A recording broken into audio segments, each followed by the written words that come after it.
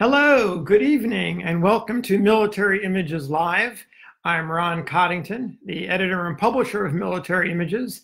Uh, the magazine is the only magazine that's solely dedicated to Civil War portrait photography.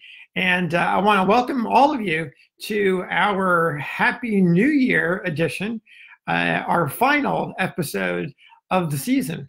So wishing all of you a happy new year. I'm also uh, also really want to thank you for uh, inviting me into uh, your homes, uh, into through Facebook, uh, to uh, to share with you all of the happenings and all the goings on in the world of Civil War photography over this past year.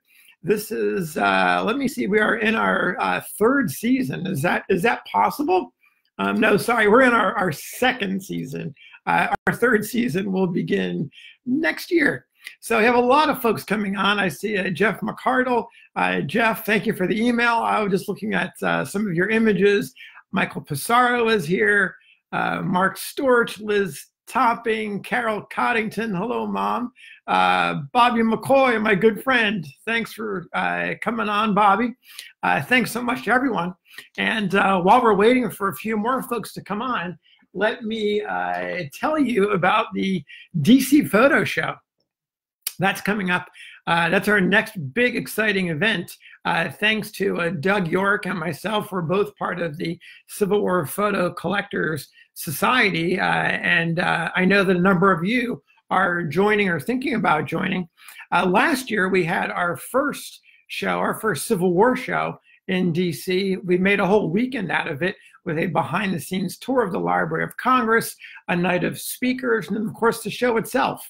So uh, Doug tells me that we are currently looking for folks to fill up our tables.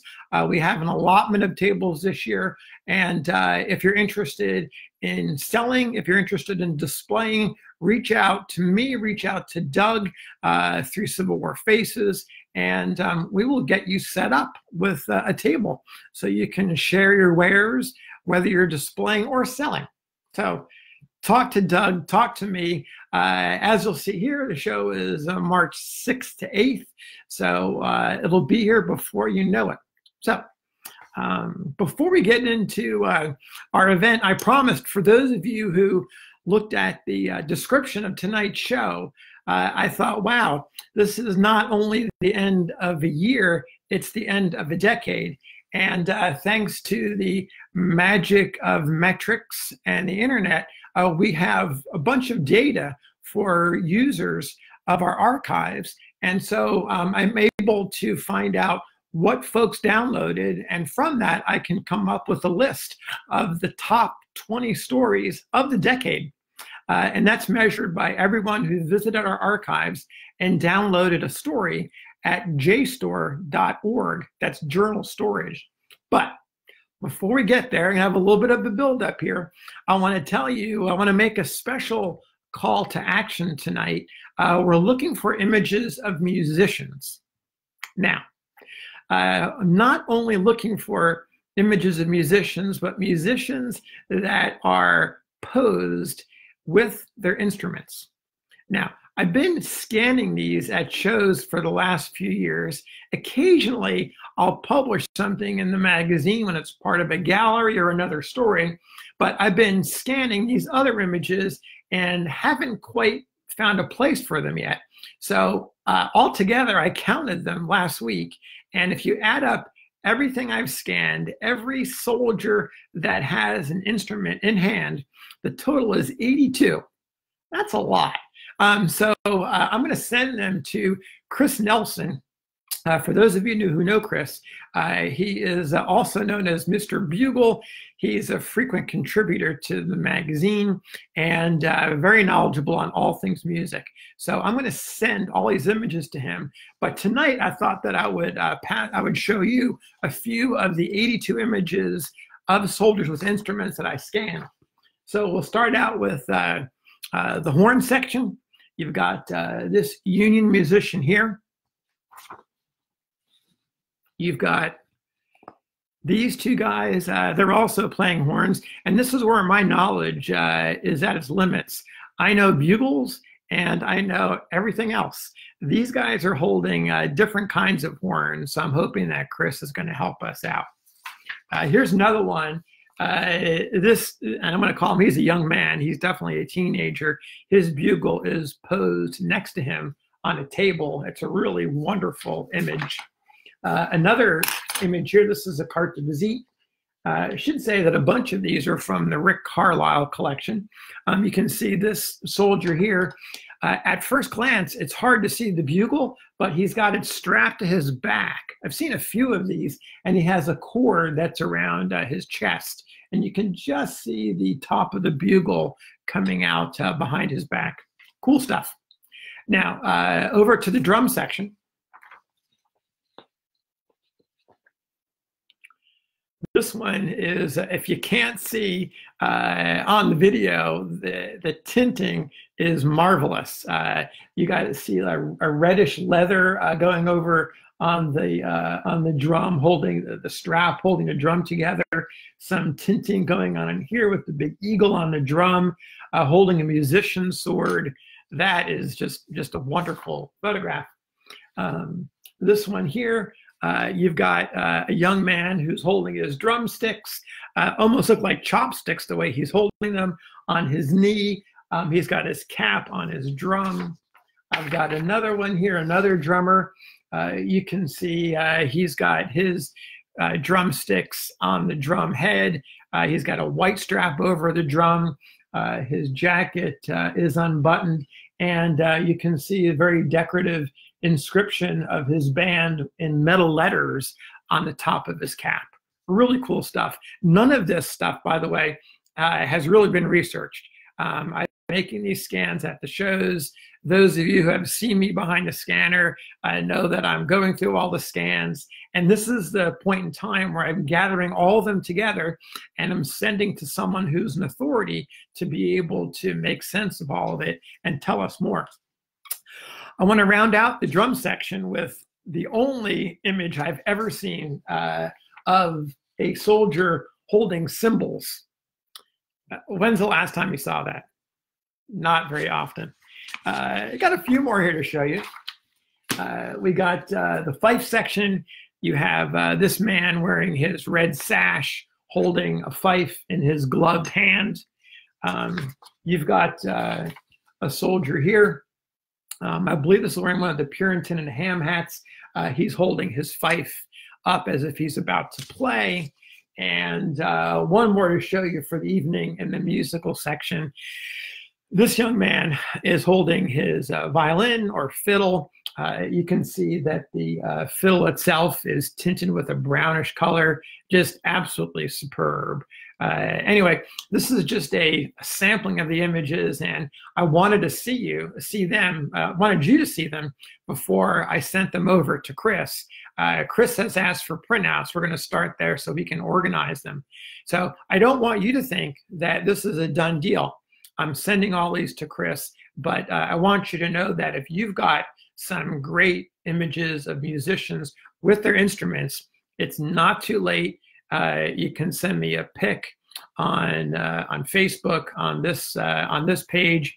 You can email me at militaryimages at gmail.com and uh, we can figure out a way to get the high resolution scan and I can take the pic, send it to Chris. And what we're going to do, just so you know, is we're probably going to break this gallery up into a series of smaller galleries and publish them over the next year or so.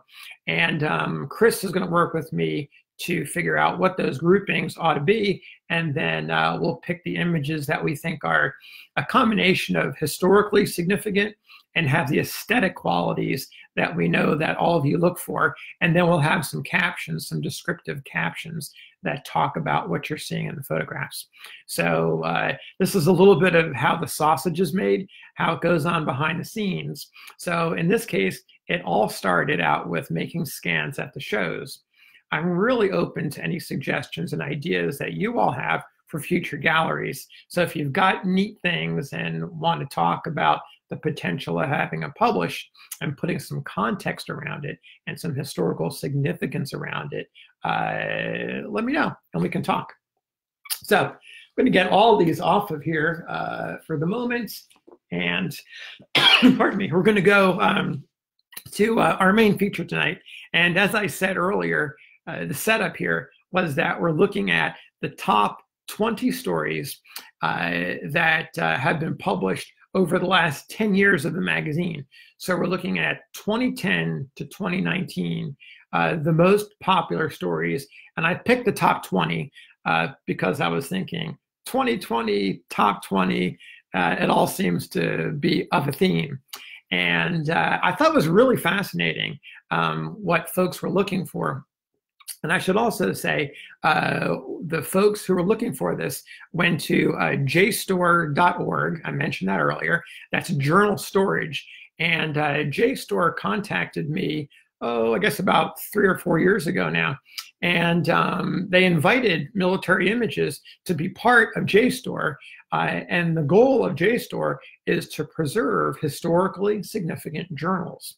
And so, uh, somewhere along the line, after talking with um, historians, scholars, the public, they uh, had a recommendation uh, that military images should be included. So they digitized uh, or scanned and then um, uh, did the searching for all 40 years worth of the magazine by now. And so they get an issue every time we publish, they add it to the collection, fully searchable. So that's the setup. And uh, now uh, let's start with the, uh, with the top 20. Coming in at number 20, hang on a second here. All right. Number 20, uh, this is, uh, let me go back here. All right, number 20. Uh, this is separated by war, selected images of Civil War couples and families. This ran our winter 2017 issue, and it's ultimately a compilation. It's one of the galleries, like the musicians.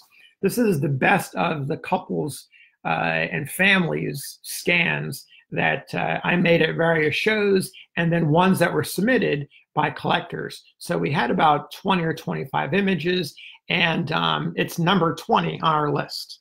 So, number 19, uh, you're going to see a little bit of a theme here. Uh, Gettysburg, uh, let me get this so you guys can see it. Uh, you are making history. Faces of Maine soldiers who fought at Gettysburg. Uh, as you'll see on the front of this, uh, you've got Joshua Lawrence Chamberlain, who needs no introduction to all of you uh, as a young soldier, young officer, and of course, here later in life. Um, this is by Tom Huntington, and uh, it features collections uh, from uh, the Maine archives. Number 18 is the Antietam album. And uh, this piece was another gallery that we did of images. I believe this is a Brian Boeve uh, image of the Confederate soldier uh, that's uh, on the cover of this piece. And um, it was introduced by John Banks. Uh, many of you know John. He has a popular blog. Uh, he writes a lot about Connecticut. He now lives in Tennessee, and um, he's also he's recently become a regular writer for Civil War Times Illustrated. So uh, John did the introduction for this piece um, for us. number 17 is uh, a piece by John Gibson. Uh, if you don't know John, he's a prolific collector of all things Vermont, has a wonderful collection of Vermont images, and as you can see here, um, Vermont uh, identification and corps badges. Uh, John put together a piece called Maelstrom in the Wilderness, the deadliest day in Vermont history. Uh, it was profusely um, illustrated with Vermont soldiers, and uh, John told the story in detail of that horrific day in the wilderness for Vermont soldiers. Number 16 uh, is uh, the earliest uh, article that appeared in our rankings. This is from our March April 2012 issue. Uh, the ever popular Zouaves.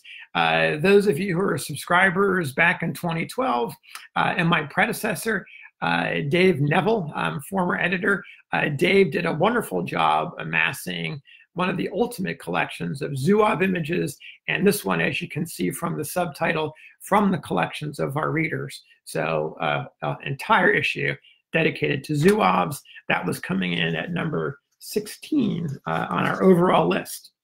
Now, number 15,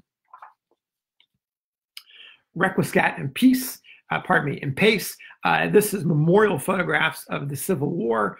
Uh, this is the uh, the work of Rick Lessingring, and uh, Rick is a recently new contributor to the magazine, and he's really interested in in the images that um, we sometimes take for granted.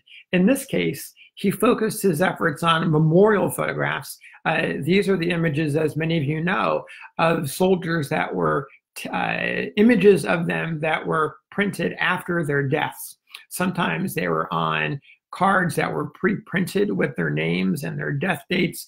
Other times they were simply a copy of a tintype, an ambrotype, or a carte de visite uh, that were distributed to loved ones um, before, or pardon me, during and after the war. So Rick did an in-depth explainer about uh, how these images came to be. He went back into the history that goes to Europe in the early 1800s, tied it to the rise of photography, and uh, like the other stories, it was uh, profusely illustrated with uh, a number of images. So that was number 15. Going to 14, uh, this is our first Navy um, story that appears, Life Beyond the Iron Shield. Uh, this is uh, the letters and uh, story of acting assistant paymaster William Frederick Keeler um, by Shelby Krause. It ran in the autumn of 2014. And uh, Shelby did a fantastic job uh, looking closely at the letters of Keeler. And those of you who know the Navy know that Keeler's letters are well known and they've been published before.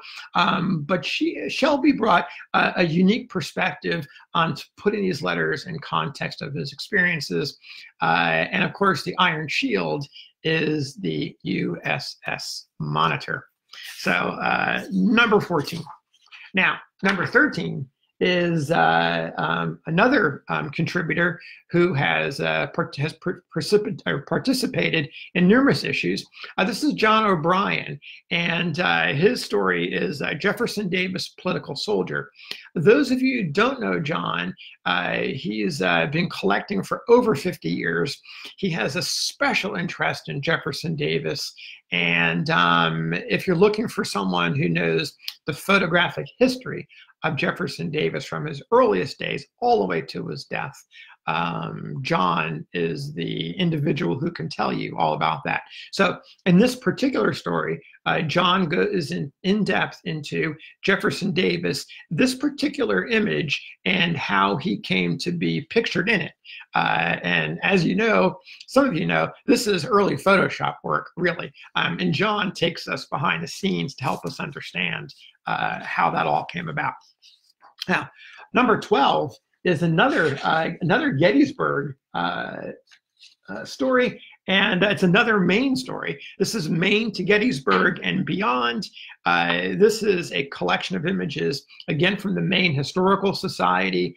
Uh, there is a lot of really excellent research that went into these. I believe there's about a dozen photographs, um, and we're looking at uh, guys from the the 20th Maine who are in the thick of the battle, as you all know. So some really great information, personal stories, personal narratives tied to the history of these men.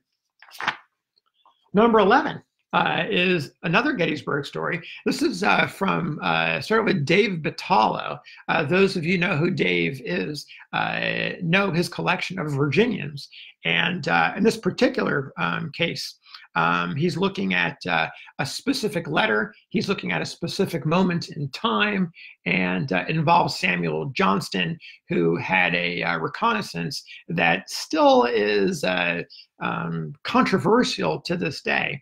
Um, Dave owns this image. It's a one of a kind tintype. Dave also owns a letter uh, written by Lee to Johnston. I believe it was in early 1865. The tone of the letter suggests that there are no hard feelings between the two men. And uh, in fact, most recently, uh, this story was picked up in uh, Gettysburg Magazine, those of you who subscribe, uh, because that letter is such a significant piece of history. So that was number 11. Let's move on to number 10. Uh, I've talked about this image before. On uh, on at least a couple of shows. Uh, this is uh, from Chuck Joyce, who is one of our senior editors. He wasn't then, but he is now. Uh, Chuck has this image of about a dozen guys, um, all of them except for one, members of the U.S. Colored Infantry.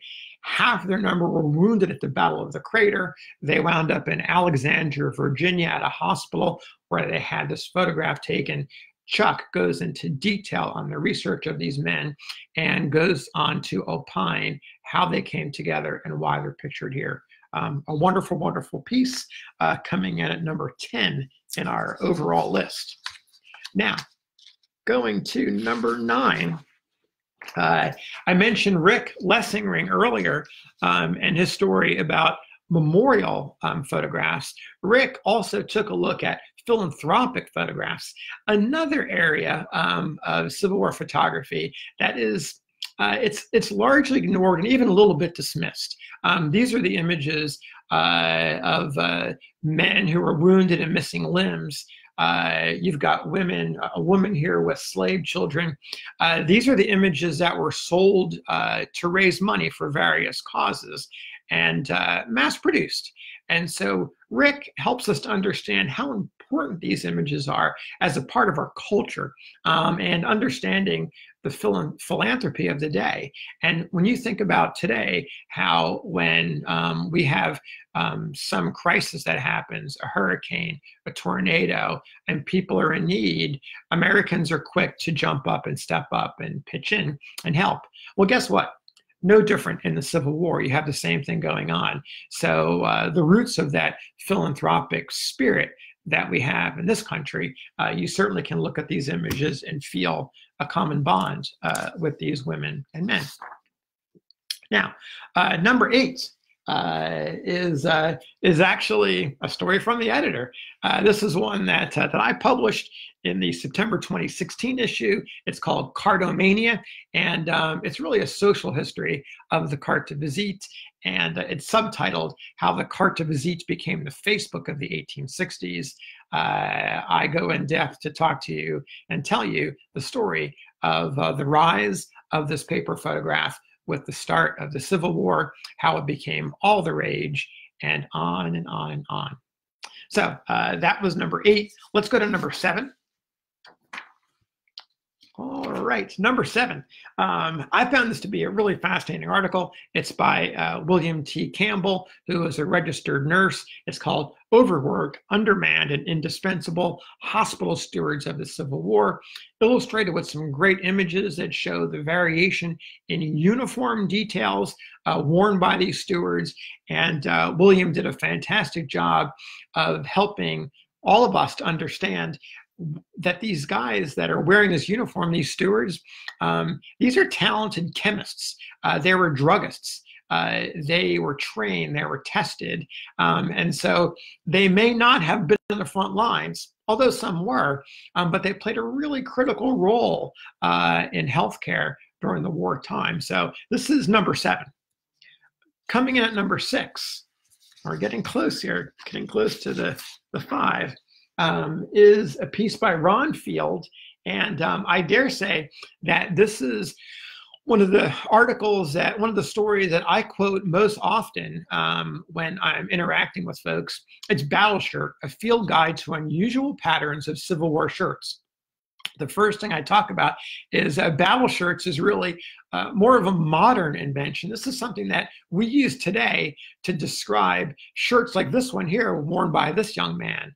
Uh, the ones with the trim, the ones that don't look at all like their standard images. Um, they're really um, hunting shirts. And uh, there's a couple of references to them being battle shirts during the war, but they're really hunting shirts or blouses. Uh, it's not until long after the war, until we're all here today, where battle shirts come of light. Anyway, uh, Ron does a great job in dissecting battle shirts and talking about how they came to be and showing a bunch of examples uh, of what they look like. So, moving on. Uh, now we're getting down to the uh, the top, really the top five, and uh, number five is the second appearance by uh, Chuck Joyce uh, in our overall list. Uh, if I can stay up here on the on the the mount for us, ah, it wants to get out. Um, this is called Reluctant Hero. Otis C. Billings and Cowan's first New York independent battery at Gettysburg. Um, it's a very tragic story of the fate of Otis Billings and the position that his battery was in uh, towards the end of the battle. So Chuck Joyce brings his critical eye, his research skill, and of course, a wonderful example uh, of a portrait from his collection and other supporting images to illustrate this article. So we did have a lot of Gettysburg material that uh, showed up um, uh, in our top 20, and uh, this is certainly one of them. Now, number four, voila, is uh, Ministering Angels, Union Nurses in the Civil War from the Chris Ford collection.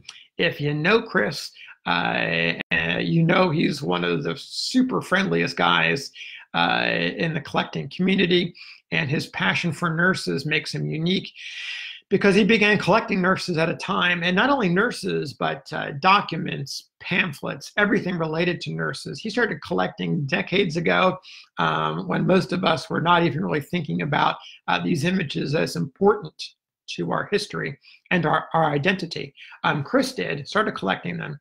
And uh, in 2014, Am I right about that? No, spring of 2015, we published the piece. And I will admit to all of you that I was incredibly nervous about featuring a nurse on the cover of military images um, because we had a steady diet of having soldiers with muskets and all that. Um, put a nurse on the cover, and uh, the response was overwhelmingly positive, as was this piece. So, coming at number four is uh, nurses. Coming at number three is this piece from our autumn 2016 issue. So uh, this is following the colors on James Island. Get this here so you can see it. Um, this is a story of uh, Cabot Jackson Russell of the 54th Massachusetts Infantry, a young officer, uh, and his tragic story. It's vividly illustrated in graphic details taken from period accounts. Uh, really unusual, uh, the level of detail about the specifics around his mortal wounding uh, during the battle, uh, James Island. And the person who wrote this uh, story is Scott Valentine. And uh, Scott has been contributing uh, stories to military images for gosh for probably 30 years or so now and uh, he's something of a mentor to me uh, because he inspired me with his writing style this idea of really trying to tell the story of a soldier so scott is one of the best at it and uh, he was recognized with the number three uh, story so got one more gettysburg piece coming in at number two and this is called Honor Dead Haunted Survivors. It's actually the first uh, Gettysburg gallery uh, that we did under my um, editorship. And um, Harold Holzer, who many of you know, he's a Lincoln scholar, uh, he wrote the introduction for this. And um, Harold brings his very unique perspective on uh, the battle, on Lincoln's role, and um, this serves as an introduction. Hard to see up here is the Gettysburg Address, um, uh, that famous image of uh, Gettysburg and Lincoln is in the background. So uh, there's a whole collection, about 25 or 30 Gettysburg soldiers that are on the pages that follow this. Each tells their story. And in this case, most of them, uh, I believe all of them, in fact, are casualties uh, in the battle, killed, wounded, or prisoners of war. So uh, Harold Holzer and Gettysburg comes in number two. Now, we're down to number one, and uh, here it comes. There we go. Uh, by a large margin, uh, women on the home front, their essential roles during the Civil War. Uh, this is by Juanita Leisch, who is well known to uh, perhaps many of you. Um, she's written extensively. This almost doesn't want to stay, but let's see what we can do here. Um, she's written extensively on women uh, in the Civil War, and um, she put this piece together to uh, help us. It's actually a primer, a primer of sorts to talk about women and illustrate it with many images of women. And uh, as I mentioned at the intro to this one, it was extremely popular by a very wide margin. And um, to me, I think it speaks to the idea that um, as we begin to, uh, as time passes, and the baton passes from generation to generation, the interest in history is growing beyond some of those traditional stories that we all grew up on and know of Union and Confederate soldiers. We're now beginning to look at other narratives. And I think you see that moving through um, all top 20 here. Um, the hospital stewards, the philanthropic photos, the memorial images. Um, these are all snippets of the social history that intertwines with the military history of what's going on. So this may give a little bit of, uh, adds a little bit to something I talk about, the idea that what is the military images? Uh, where's that line? And frankly, um, I think that line is shifting um, I think we have to start looking at other images, not just the soldier who was in battle, to get an understanding of the impact of the war on um, on our lives today, on and of course on the lives of the individuals who served and the outcome of uh, the war and beyond. So um, that's it. This is our top 20. This is our end of the year. So I have to say again, a very big thank you to all of you for tuning in this year. This is the conclusion of our second season. Uh, I've loved uh, every show, and I'm so delighted you could be part of it. Um, I hope that you'll tune in next year. We'll probably be back uh, in a couple weeks, and um, we'll have the latest on projects that we're working on various developments in the world of Civil War photography and researching. Of course, we'll be sharing your images, your stories, your requests. So uh, keep the email, the posts, the texts, uh, the calls, and uh, all the communications coming. And again, I want to wish all of you a happy, happy new year and uh, blessings and um, positivity in the year ahead. So Thank you so much. Have a great night. Bye bye.